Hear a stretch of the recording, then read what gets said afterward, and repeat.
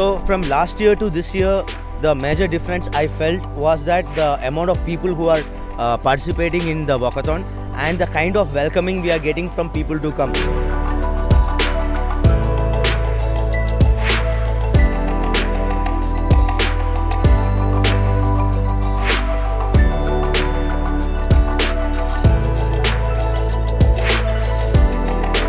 people coming in from their houses at 6 o'clock for inclusive walkathon. This is an epic, it's a movement.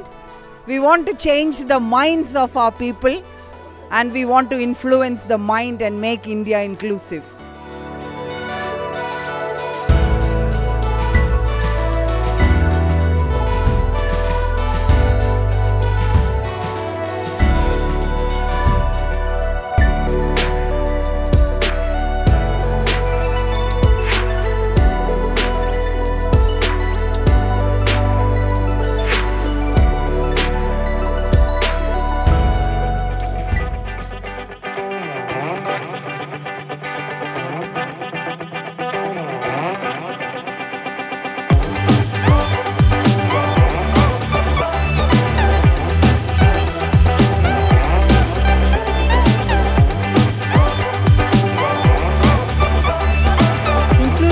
Nothing but diversity and getting connected with you know different kinds of people